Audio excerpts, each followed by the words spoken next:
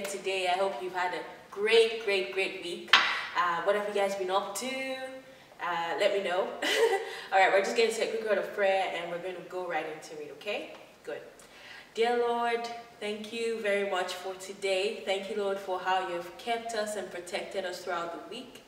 Lord, we pray that even as we read your word today and learn about you, that you will be with us. Help us to know you more today, Lord. In Jesus' name. And everybody says, Amen. All right, children, we're going to sing a song, and this song will always remind you that you have the light of God in you, shining bright and bright, okay? All right, let's go.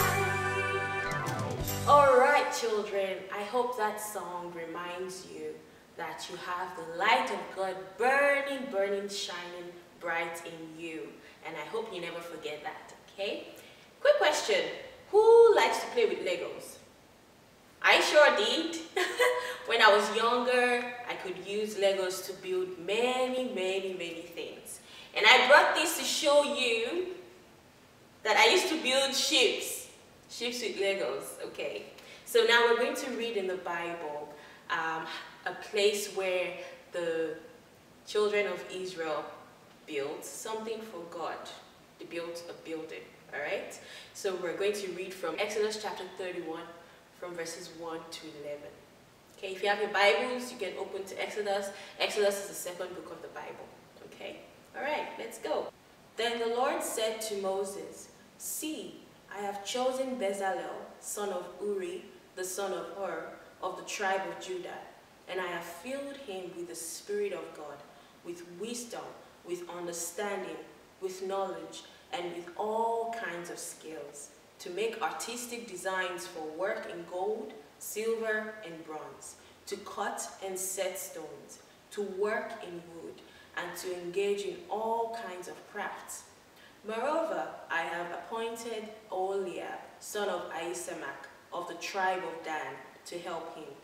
Also, I have given ability to all the skilled workers to make everything I have commanded you, the tent of the meeting, the ark of the covenant law with the atonement cover on it, and all the other furnishings of the tent, the table and its articles, the pure gold lampstand and all its accessories, the altar of incense, the altar of burnt offering and all its utensils, the basin with its stand, and, and also the woven garments, both the sacred garments for Aaron the priest and the garments for his sons, when they serve as priests, and the anointing oil and fragrant incense for the holy place. They are to make them just as I commanded you. Amen. All right.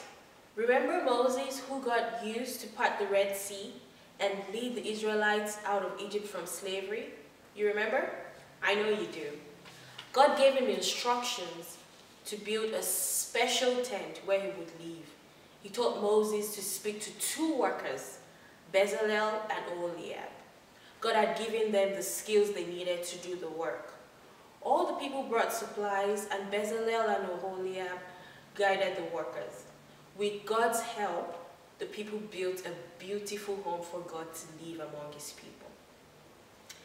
All right, guys, I want you to always remember that you're special and unique, just like how each snowflake is unique.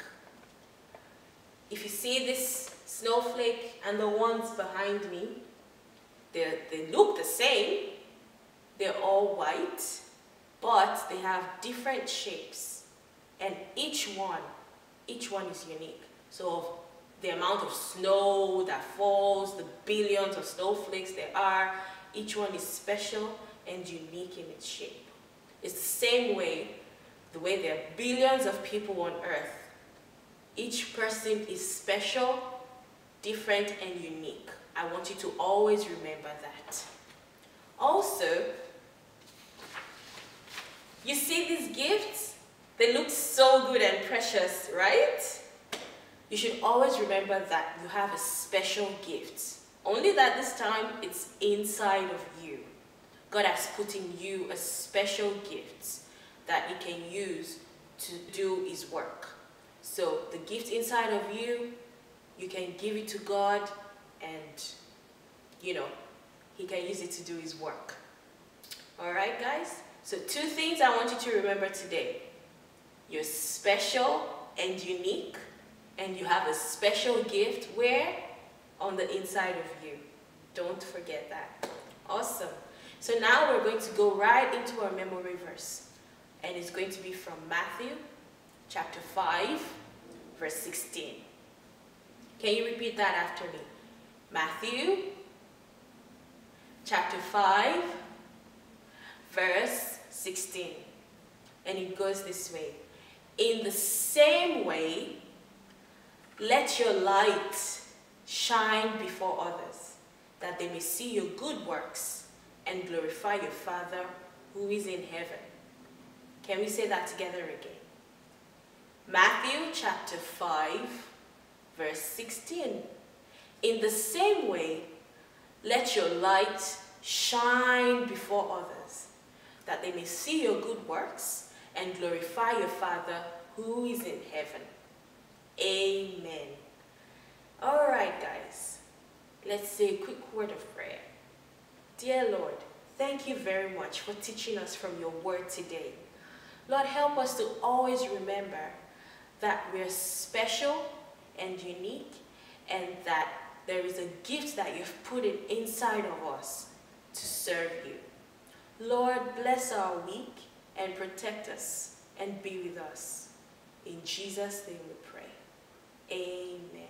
And everybody says, Amen. Praise the Lord.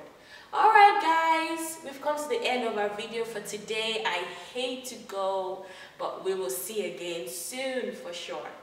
I hope you have a great, great, great, great week and see you next time. Bye.